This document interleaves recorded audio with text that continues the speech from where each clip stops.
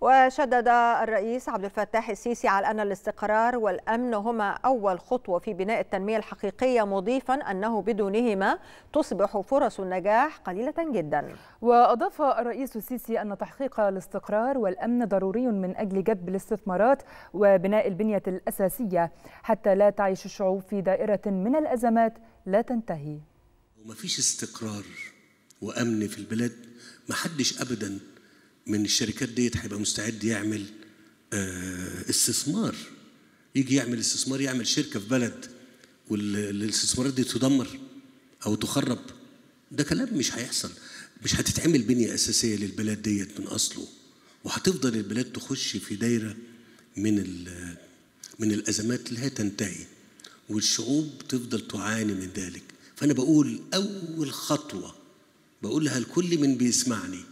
أول خطوة في بناء التنمية الحقيقية هو الاستقرار والأمن. إن عدم فرص النجاح بتبقى يعني محدودة جدا.